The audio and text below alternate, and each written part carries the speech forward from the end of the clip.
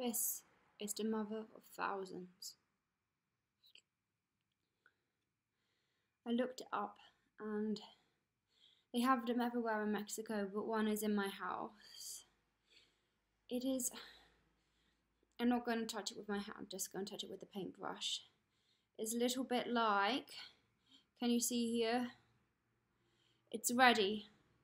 These are oh, its babies. They're ready. They're coming.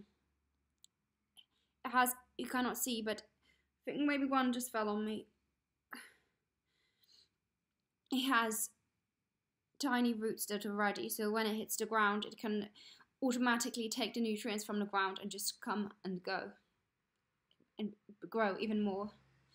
And it's a kind of succulent, and succulent is, I think it's called succulent because when there is water, or when there's not very much water, if I just touched a grain of sand with my finger, it would feel not wet, but because mine is a human finger.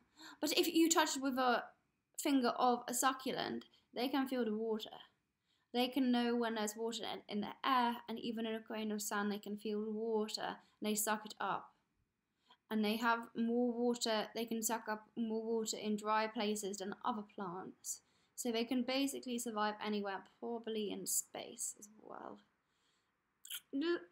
a little bit worried about this one because it does look very much like a bit like animal. Can you see the striations with the okay, maybe a zebra or an alligator or frog or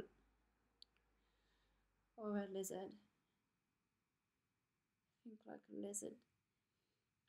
Because maybe this is very from the early in evolution. It looks a bit like it is from a different planet. And have you seen in a film when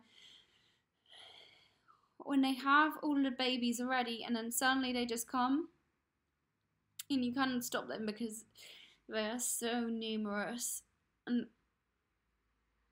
I think this is a little bit like that.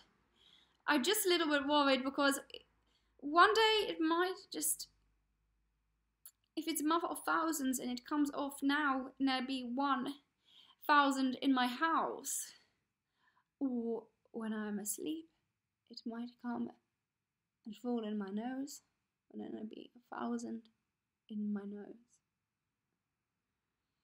Just a little bit. Don't.